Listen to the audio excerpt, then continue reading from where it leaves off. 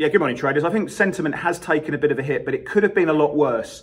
If we have a look at yesterday's trade in Asia, we are watching you know, big moves to the downside in the Hong Kong market. The Chinese markets were under pressure.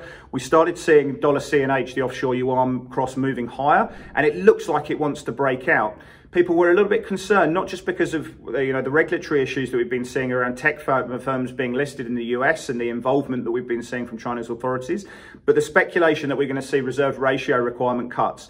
Now, the Chinese are window dressing this and saying that you know the Fed are going to be tapering its asset purchase program. We need to offset that situation, but the markets are saying, well, hang on, what's going on? We know that the credit impulse is falling, Chinese growth is slowing down. Why the need to cut reserve ratio requirements?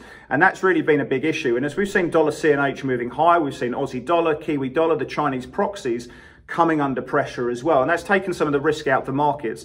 European markets were down pretty hard. We saw the MIB down 2.6%, which is a 3.2 Z score move. The IBEX was down pretty hard. The Euro Stoxx was down over 2%. We should see those markets open a little bit higher when it comes back online, given the moves that we've seen in the S&P. And if you have a look at the S&P intraday tape, you can see we traded down to 42.89, so things were looking pretty ugly.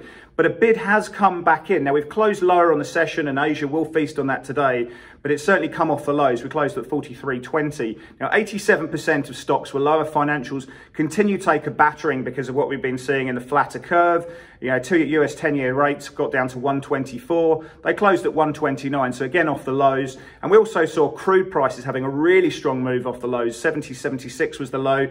It, closed about 3.5% higher off that. So energy stocks in Asia really closely watched watch today. But you can add the Delta variant, you can add the Tokyo not allowing spectators, you can talk about disagreement at OPEC. There's a number of reasons why markets are getting a little bit more concerned. Asia could be a much watch today.